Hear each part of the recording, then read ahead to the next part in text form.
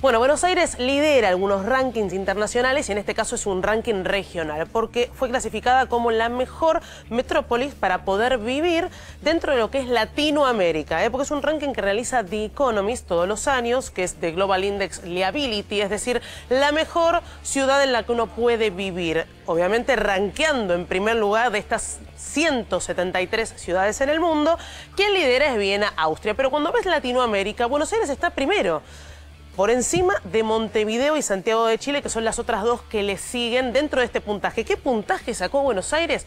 82,5, lo cual es un alto puntaje porque son las únicas tres ciudades que les mencioné las que superan los 80. ¿Qué se tiene en cuenta para poder puntuarla? Bueno, son cinco categorías fundamentales. Cuando hablamos fundamentales decimos lo que es educación, infraestructura, atención médica, condiciones de vida y también estabilidad. Ahora, ¿cómo se saca o cómo salieron ranqueados esos esos índices. En primer lugar, 100 fue lo que más sacó educación, el puntaje más alto que se puede entender.